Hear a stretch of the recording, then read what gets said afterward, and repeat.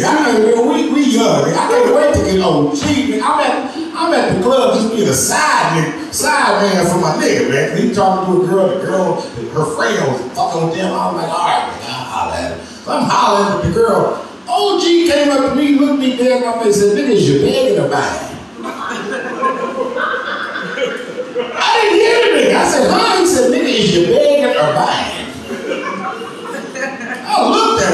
Buying this bitch yet. He said, well, I'm buying. So nigga move.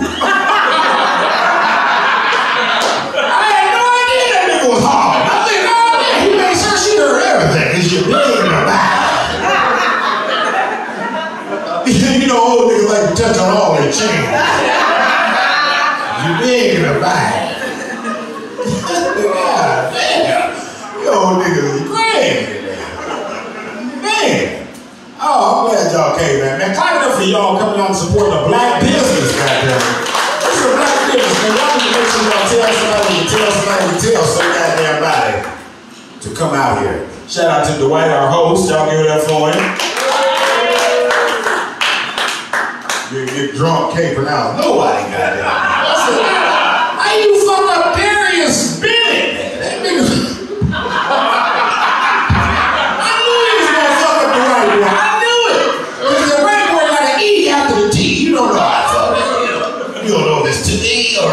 just to you know. But Darius Bennett, I was on mine like this nigga here.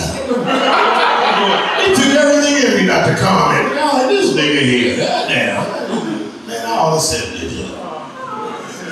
I love that nigga. You just country as you want to be. That nigga been in LA for too long to be that country. That nigga country. I talked to him one day and nigga said, she ain't no that in the hood.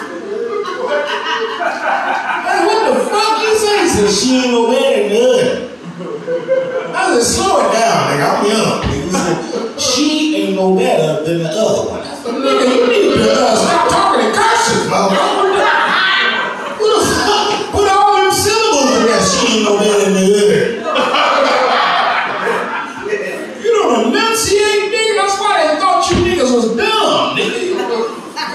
you're talking too quick. it's so